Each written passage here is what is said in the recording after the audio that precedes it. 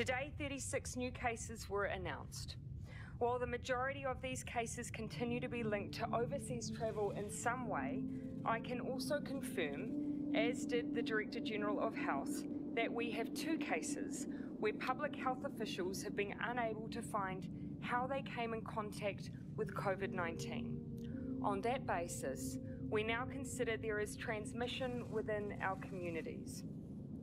If community transmission takes off in New Zealand, the number of cases will double every five days. If that happens unchecked, our health system will be inundated and tens of thousands of New Zealanders will die. In short, we are all now preparing as a nation to go into self isolation in the same way that we have seen many other countries do. Staying at home is essential it's a simple but highly effective way to constrain the virus. It denies it a place to go and will help give our healthcare system a fighting chance. As time goes by in isolation, each passing day feels like a rewind of the previous day. It's like I'm stuck in an endless loop, hoping when I wake up to a new day, it would be different.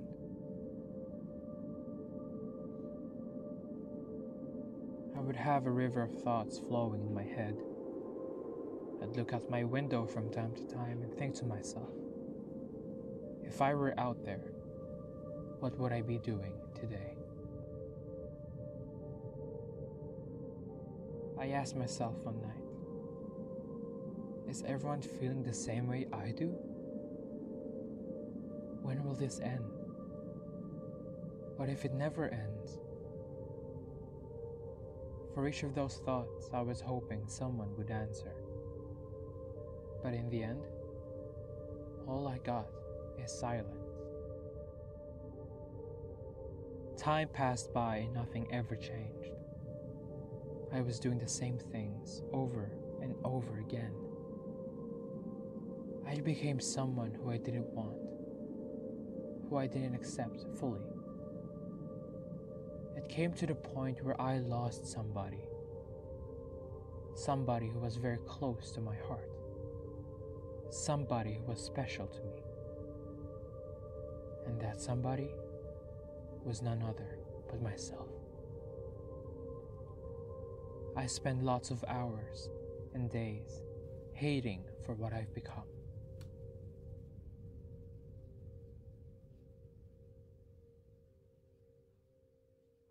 Closed my eyes. It was dark as I expected, but at least it was peaceful. I could hear familiar voices and laughter from afar. I tried searching for it by focusing on them. And then, this memory started playing in front of me. As if I have escaped from reality by imagining myself in a situation where I get to be happy.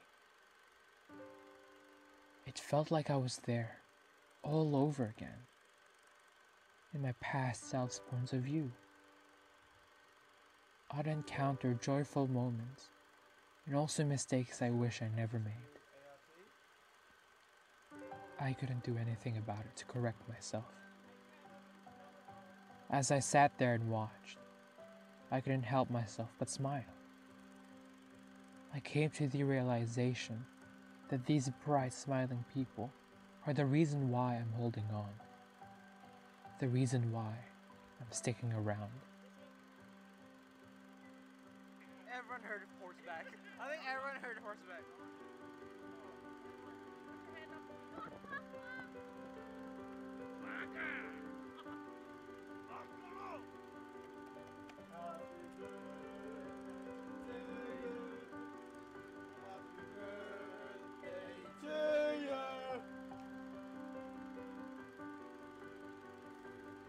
Momentarily, I thought of the larkspur, my birth month of July's flower. The larkspur symbolizes a strong bond of love. It signifies an open heart, an ardent attachment, and the celebration of positivity. It came to me as if it were to tell me that I have found myself, to tell me that the cold winter has dawned the colorful return of life is ready to bloom once more.